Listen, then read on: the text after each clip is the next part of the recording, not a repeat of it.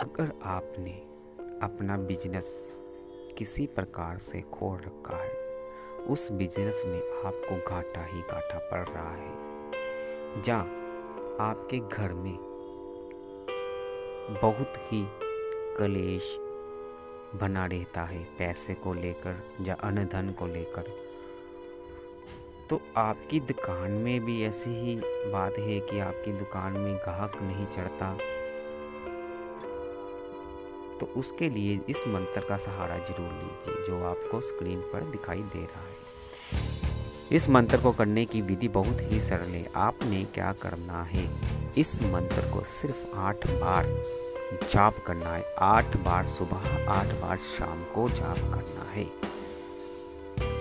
तो देखना, आपका बिज़नेस चलना शुरू हो जाएगा। आपने घर में काफ़ी बरकतें आना शुरू हो जाएगी। आपका मन जो दृढ़ नहीं है डोलता है, वो बंद हो जाएगा।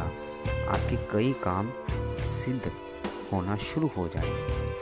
अगर आपका बिज़नेस बहुत ही डाउन है तो इस मंत्र को चावलों पर आठ बार जाप करके फूक मारकर, लाल कपड़े में बाँध कर आपने अपनी दुकान पर कहीं भी बाँध देना है तो देखना आपका कारोबार चलना शुरू हो जाए घर के लिए आपने चने की दाल लेनी है एक मुट्ठी चने की दाल लेकर उसमें पीले रंग के कपड़े में इस मंत्र को आठ बार ही जाप कर कर अपने घर में किसी भी दरवाजे के पीछे बाँध दीजिए और देखना आपके घर की बरकत भी शुरू हो जाएगी। घर में जो जो दिक्कतें आती है, वो बंद हो जाएगी खुशहाली आना शुरू हो जाएगी। इस मंत्र का प्रयोग ज़रूर कीजिए।